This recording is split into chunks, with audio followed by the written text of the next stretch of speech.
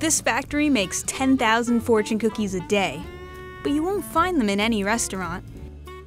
Instead, Golden Gate Fortune Cookie Factory relies only on tourism.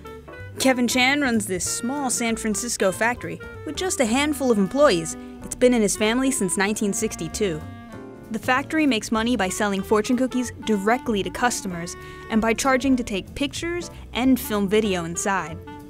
A batch of 50 custom cookies starts at $17.50, smaller souvenir styles for $2, and a perfect Instagram picture will cost you 50 cents. You can also customize your fortune. And people want cheap fortune cookies.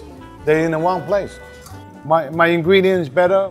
The cookie batter contains sesame seeds, flour, eggs, sugar, butter, and flavorings.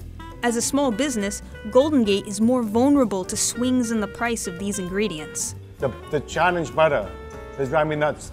They know, you know, when to go up and when to go down. And when they go down means it's not go up, it's go all the way up and go down a little bit. And that affects the price of the cookies, making them more expensive than the ones consumers will find in a restaurant or takeout. I want them happy. I want them to taste the real fortune cookies, the real one, the real one that make by hand. The process starts with the batter. It's put on hot plates to make a four and a half minute trip through the oven. While they're still hot, they're shaped by hand with a fortune slipped inside. Golden Gate is open year round so tourists can cram into the small front area, taking pictures and tasting the cookies.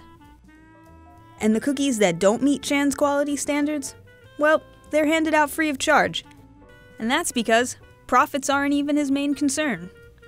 The whole business is to serve the people, serve the community, community, and serve the city of San Francisco tourism. We are part of the tourism because whenever they come to San Francisco, they think of Chinatown, they think of fortune cookie, they think of Golden Gate fortune cookie.